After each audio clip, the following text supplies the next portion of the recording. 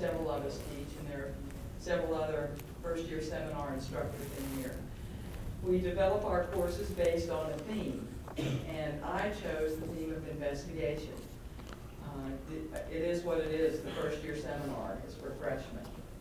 So as I began to develop the course, uh, I kept thinking, how am I going to, to gain the attention of a bunch of 18 and 19-year-olds to teach critical thinking? You know, how do you teach critical thinking? Now, that's kind of a tough nut to crack, but I am in the company of some very good people who helped me and guided me into the development of the course. And so I chose investigation because I'm a social worker, an academic, and I like research. And I was also a federal investigator for the Federal Public Defender in Pittsburgh for several years. And I worked in the capital habeas unit, mitigating the sentences of death row inmates. I have always been interested in the Rosenberg case since I was a young child listening to my parents talk about it. I was always um, actually quite upset about it for most of my life, always wondering what had happened to the Rosenberg children uh, and what was going on in their lives. So I thought, good way to teach critical thinking. Let's, let's talk about the Rosenberg espionage case. We, uh, we first had assignments on serial killers. I had them actually conducting psychosocial assessments of serial killers because I wanted them, the students to understand how uh, the biological, psychological, and social environment affects our behavior, correct? Yes. And uh, they liked that assignment. When it came to the espionage case, they were a little iffy, you know, like, oh, let's stay with this, it's so sensational. But we forged ahead, and they've been absolutely brilliant. They've conducted research, uh, their investigations were stellar, and I think they uh, found that out this morning when Mr. Meeropol spoke to them. Uh, they realized that many of their arguments were quite sound, and it showed that we have some tremendous critical thinkers as students at this university, and I'm very, very, very proud of them. So that's been absolutely great.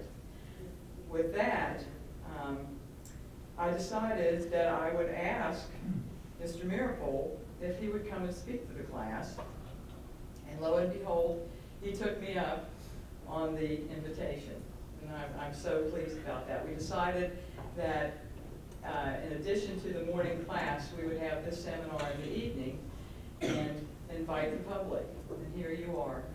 And I am just well pleased. Uh, Mr. Meeropol is a, a lawyer. He is the founder and former uh, CEO of the Rosenberg Fund for Children, and he'll talk about that in a bit. And I've had a delightful time. We had a wonderful dinner last evening uh, with colleagues and friends. It was tremendous. And uh, so here we are at the end of his stay. I'm going to miss you. we spent a lot of time together in the past couple of days. So with that, I will turn it over to you, Mr. Robert Meeropol.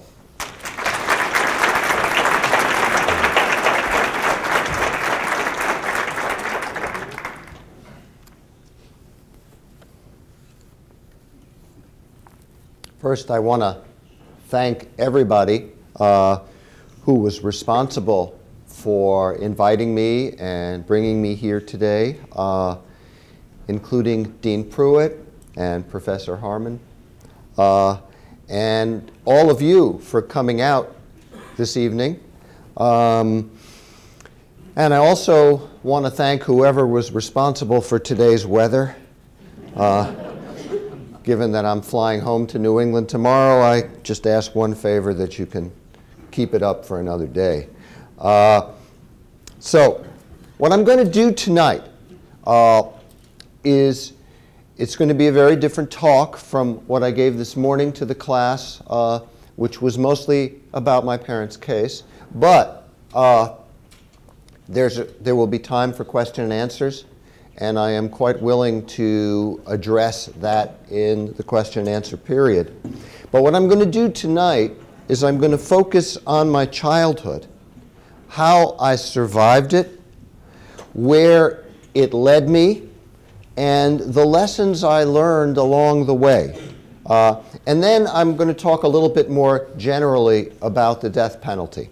Um, so, starting out in 1950, when I was three years old, my parents, Ethel and Julius Rosenberg, and by the way, for those of you who haven't put it together, uh, I was adopted by Abel and Ann Meeropol uh, after my birth parents' execution, and my name was changed, so that's why my name is not Rosenberg. Uh, and that, if people have questions about that later, I'll be happy to talk about that as well. So when I was three, my birth parents were arrested and charged with being master atomic spies for the Soviet Union, in particular for stealing what was called the secret of the atomic bomb. The judge, in sentencing them to death, said they altered the course of history against our country. Uh, and then when I was six, they were executed. And I grew up believing that my parents were framed and that a terrible wrong was done to me and my family by our government. Yet I consider myself lucky. That's because in 1990, I found my calling when I founded the Rosenberg Fund for Children and was able to make it my full-time job for the next 23 years until September of 2013 when I retired and my daughter, Jennifer, became the RFC's second executive director. Now, my job until I retired in 2013 was running this foundation.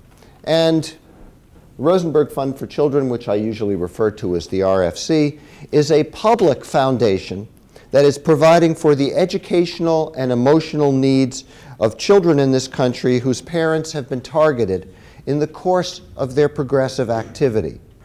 And I'm going to focus on the personal story of what happened to my brother and me after our parents' arrest in 1950.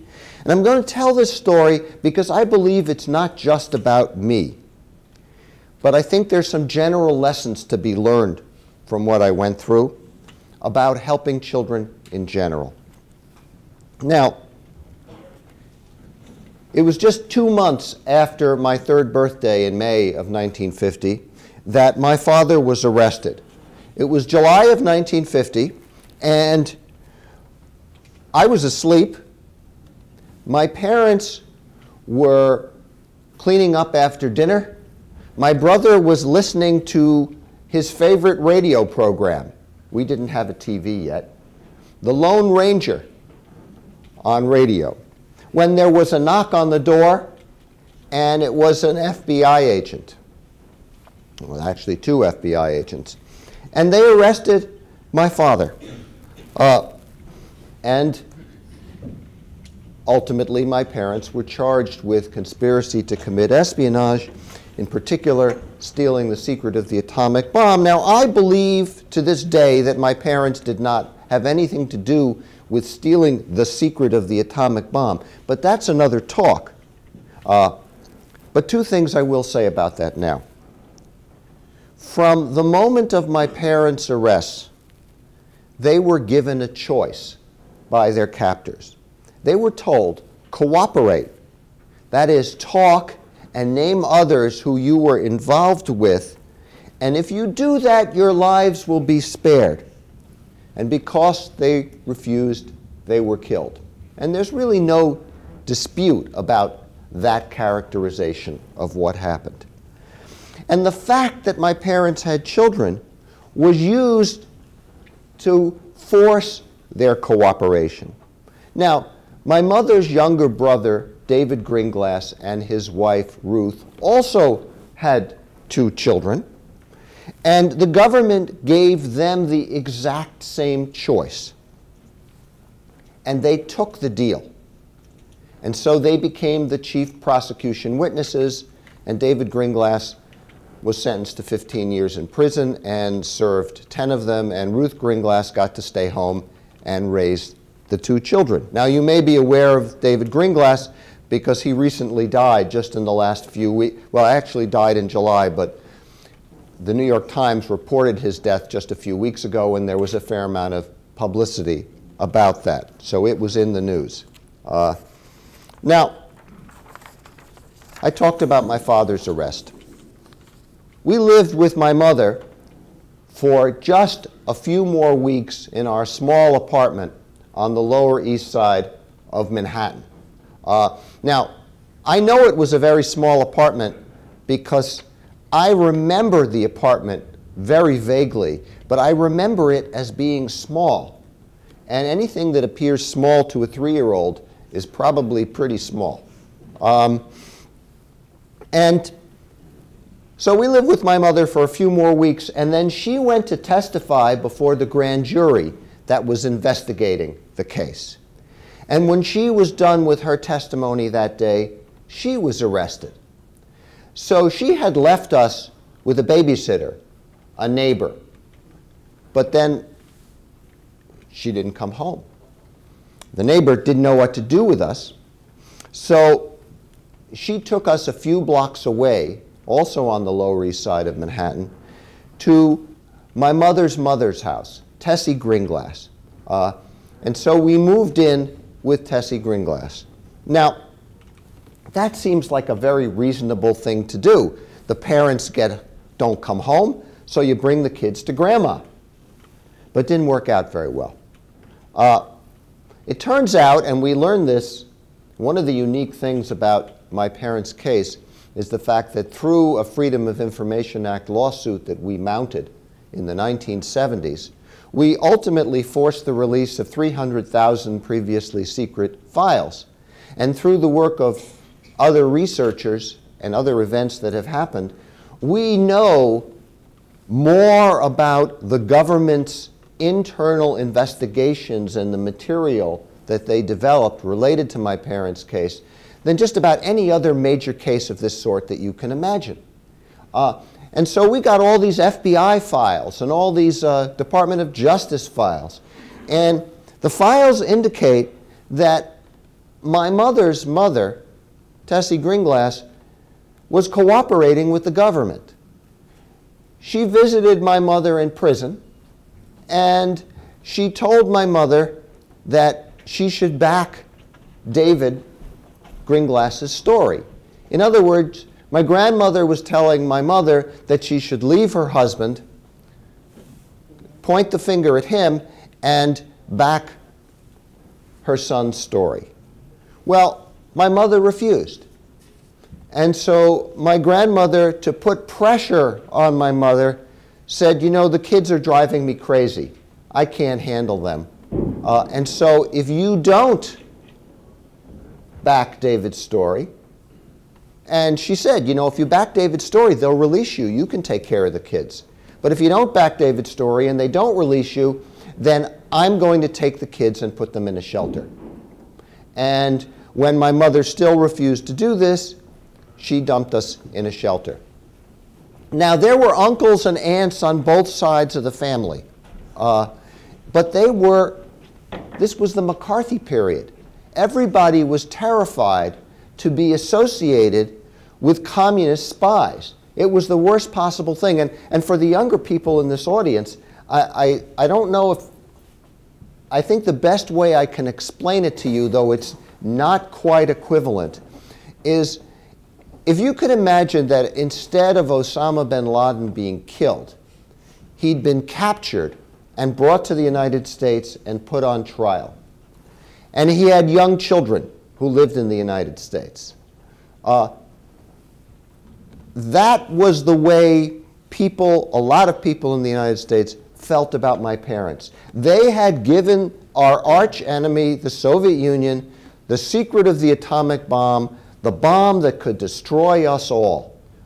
There could be no worse people on earth. So try to imagine what it was like being their children and try to imagine what it was like being their relatives. So everybody was scared. I had an aunt uh, who my father's older sister, she was very close to my father and really wanted to take us into her home.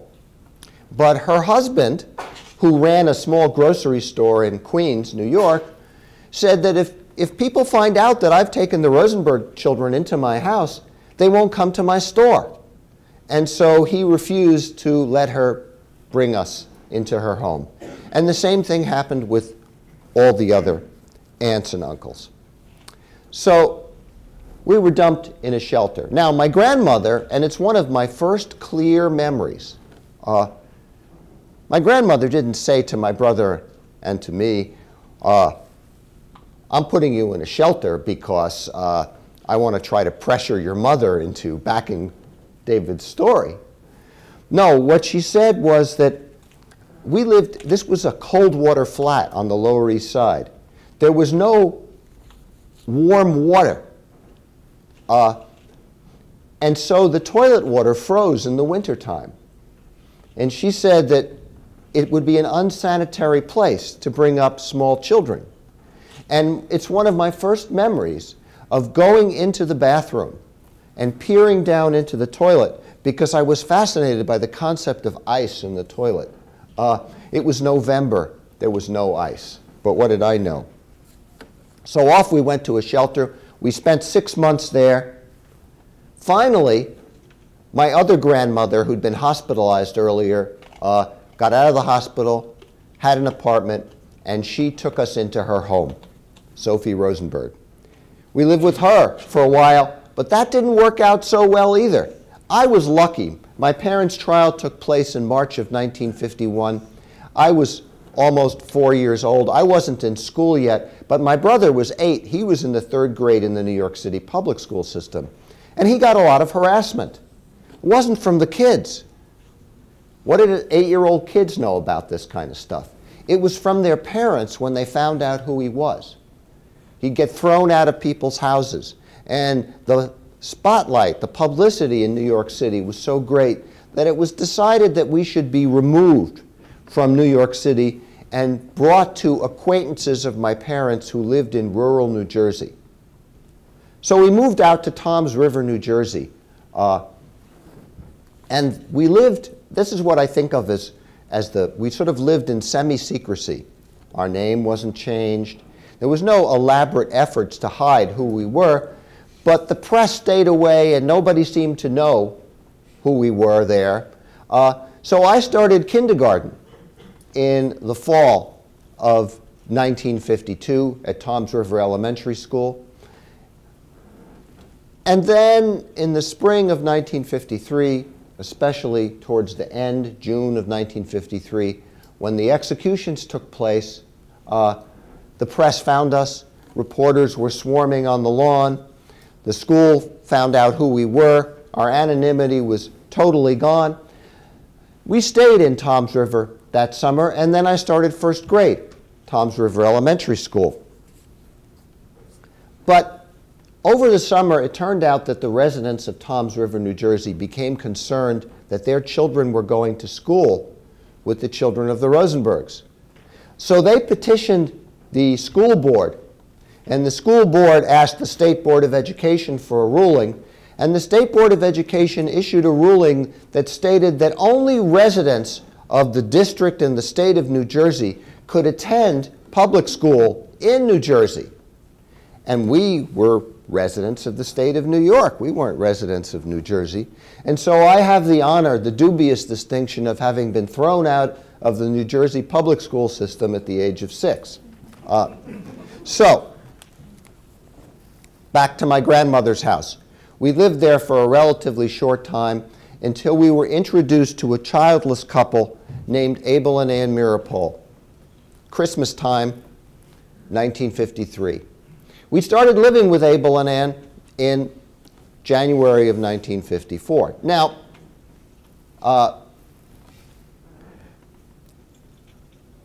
there were relatives, as I said, but nobody would adopt us. And so my parents gave our legal guardianship to uh, their lawyer, Manny Block. Now, Emanuel Block found Abel and Ann Meeropol. It was really, it wasn't the way it would happen these days. He knew who Abel Meeropol was. Abel Meeropol was a writer. His most famous song, Strange Fruit, uh, which Billie Holiday made famous, uh, was a song about lynching, uh, and it's still a very popular, famous song today. Uh, and so he knew about Abel and Ann, and Ann was a school teacher, Abel was a writer who worked at home, and he thought they would make good adoptive parents. He met them once, liked them, and said, okay, you can adopt them. Uh, so we moved in with the Meeropols. We started living with them. A few weeks after we started living with the Meeropols, Manny Block had a massive heart attack and died. And he had not completed the adoption papers yet. At that point, groups of people in the New York City area, mostly right wing people, uh, filed petitions in the Children's Court. They said their uh, argument was essentially that, first of all, Abel and Ann Meeropol had custody of us, but they were not our legal guardians, which is true. Uh, but uh, they also said that Abel and Ann Meeropol were abusing us. Now, this wasn't physical abuse, it was political abuse. They were saying that we were being carted around to demonstrations and being forced to listen to grisly descriptions of executions, and we were being taught to hate our country. Basically, they were saying that because the Meeropols were supporters of the Rosenbergs, they couldn't be good parents. Well, so we were then seized by New York City police and taken to an orphanage. Well, at that point, some of the people who'd worked to save my parents' lives, some lawyers that got together, there was a custody battle. And I won't go into the details of that struggle at this point, but to make a long story short, we won that custody battle. We were reunited with Abel and Ann Meeropol. Our names were changed. We dropped from public sight. And that period that my brother to this day calls the long nightmare came to an end. Now, that was our first family victory. The people who wanted to take us from Abel and Ann Meeropol were not satisfied with killing my parents. They wanted to make sure that their legacy was destroyed as well. They wanted to make sure that me and my brother would grow up either burying what happened or reviling my parents. Uh, but they failed. In fact, you know, you could argue that the people who tried to take us away from Abel and Ann Meeropol wanted to make sure that I would never grow up to start something like the Rosenberg Fund for Children. Uh, but they didn't succeed. So instead, I grew up with a positive image of my parents and in particular of people who would put themselves on the line to help children. Because when I look at my parents' case, my personal heroes are the people who protected me and my brother. And they did so at great personal risk. I'll give you an example. There was a man who used to uh, drive us to school in the morning because during the custody battle there was a period when it was they were trying to figure out whether we would ultimately end up with Abel and Ann Meeropol, but we were instead sent back to my grandmother's house, Sophie Rosenberg. Now, my grandmother lived about two miles away from the school we were going to. So someone would come in his car and pick us up in the morning and drive us to school. Well, one of the things that would happen with people like that is that anybody who would come to our aid, there would be FBI agents who would take down their car license number, and then they would try to find out where their employers were. They'd go to their employer and say, Do you know that one of your employees is helping the children of these communist spies? Um, and, you know, people could lose their jobs. And this kind of things happened. So people who would put themselves out uh, to help in that situation became my personal heroes. Uh, and after my name was changed and we dropped from public sight, my life changed. Uh, Manny Block, my parents' attorney, after my parents' execution, traveled around the country uh, raising money on our behalf. Uh, the Meeropols didn't have much money. Abel Meeropol's most famous song, Strange Fruit, during the 1950s, uh, it was not played on the radio. It wasn't making any money. In fact, one of the people who used to sing Strange Fruit, the singer Josh White Jr., uh, he was hauled before what was called the House Un-American Activities Committee and asked if he was, uh, why he was singing this communist inspired song. Um, and uh, he said to them, if you don't want me to sing it, I won't sing it. And so the Meeropols didn't have any money, but this trust fund enabled me to go to special camps and special schools. Uh, no one talked about it but I kind of grew up as a child of the movement.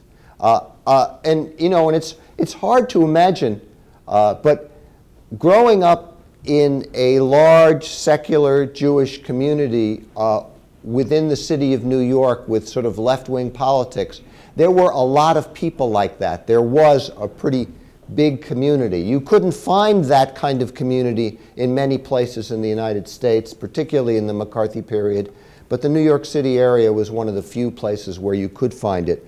And the result was that I grew up surrounded by a community of support. And I think, and this is, you know, really important, I think, for anybody going into social work, the community of support is, is really key.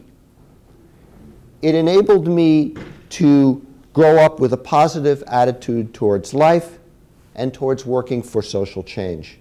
So it only seemed natural when I grew up, when the time seemed right, starting in 1975, after people had learned through the war in Vietnam and through the Watergate scandal that the government might actually lie about things, that my brother and I would start a Freedom of Information Act suit, sue the government, and launch our effort to reopen our parents' case and go public with who we were.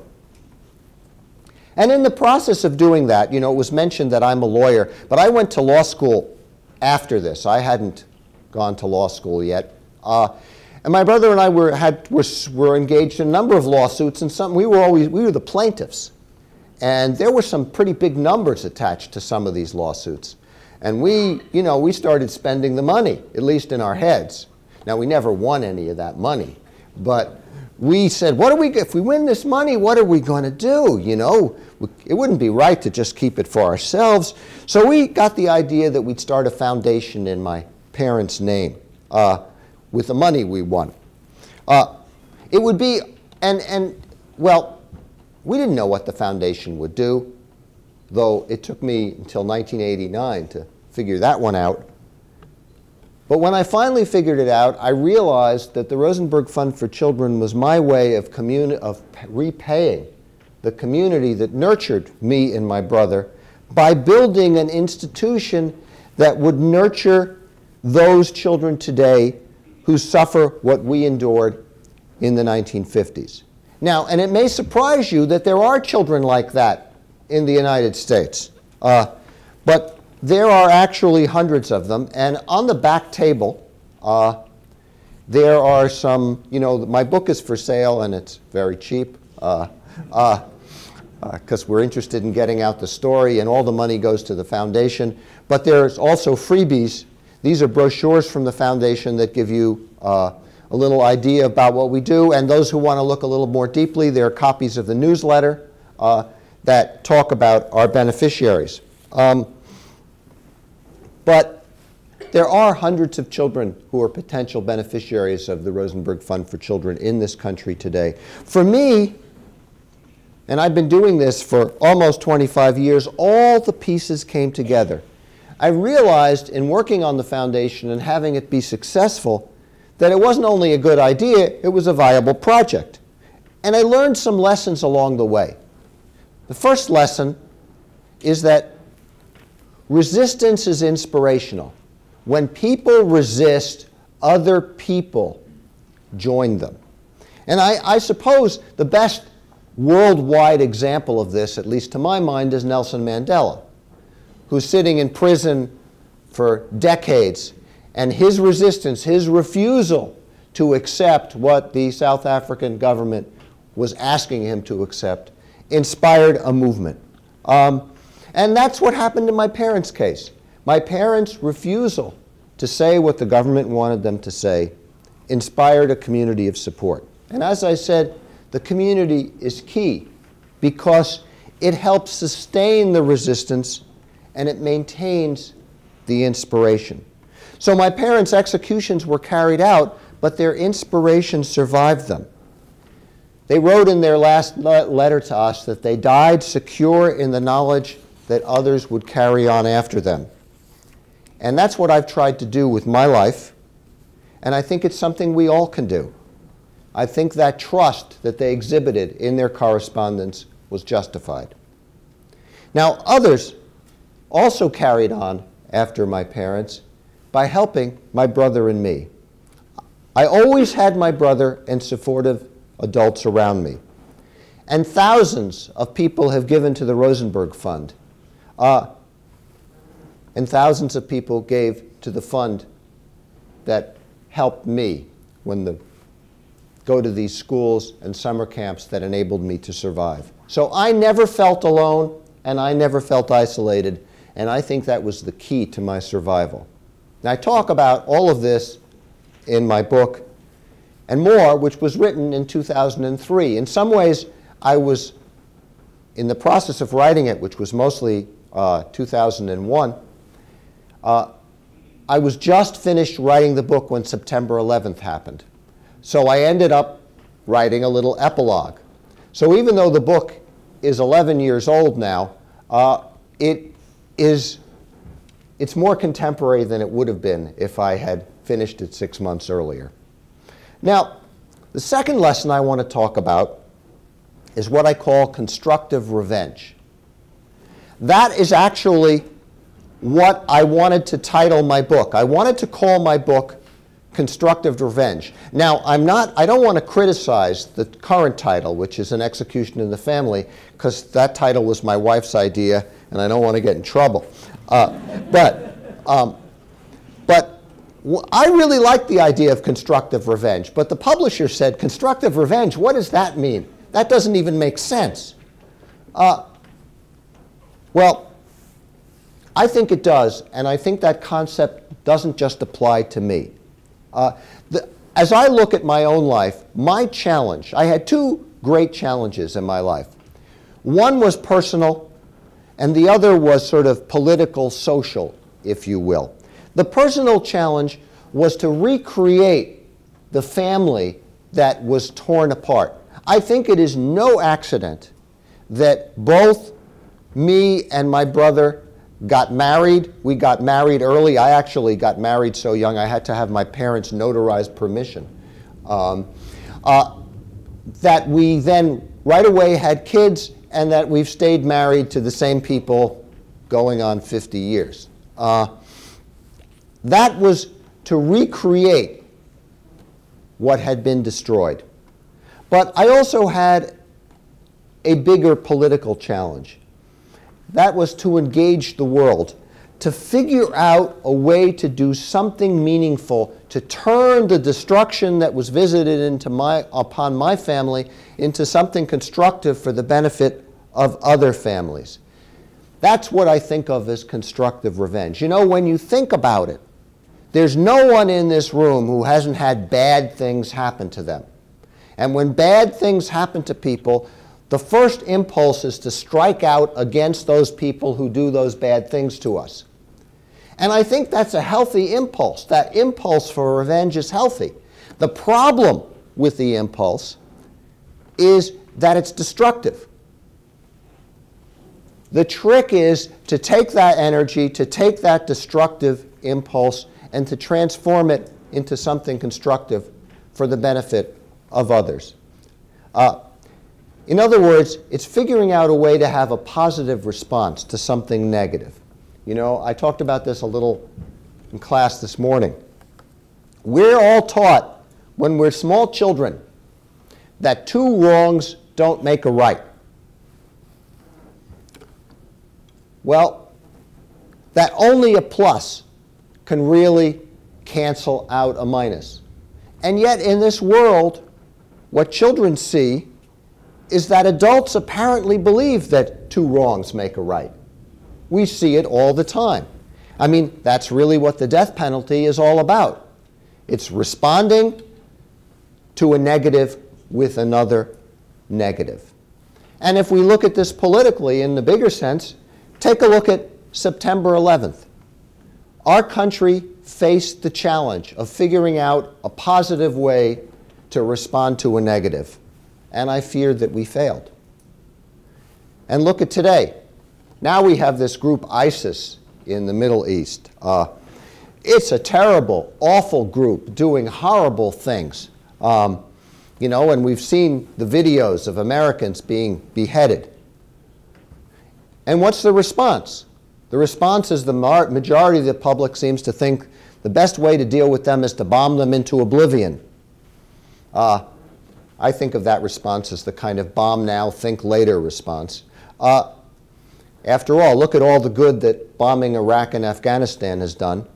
Uh, in fact, I would say all that bombing of Iraq and Afghanistan, and this is an interesting concept to present on Veterans Day, led to ISIS to begin with. Uh, now, you know, we're taught, our, our national anthem ends with the phrases that we're the land of the free and the home of the brave. But I fear we've become the home of the afraid. And if we are the home of the afraid, that makes us no longer free. So our government locks up millions of people 5% of the world's population, 25% of the world's prison population.